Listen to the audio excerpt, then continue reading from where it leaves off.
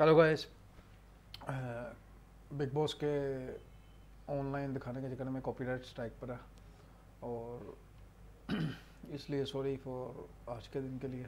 मैं पाँच मार्च तक अब मैं ऑनलाइन स्ट्रीम नहीं कर सकता। उन्होंने मुझे कॉपीराइट स्ट्राइक दे दिया। तो ट्राई करेंगे दूसरे चैनल पे। मैं आपको लिंक शेयर कर दूँगा। थैंक्स फॉर वॉचिंग और चैनल सब्सक्राइब कर दीजिएगा मेरा।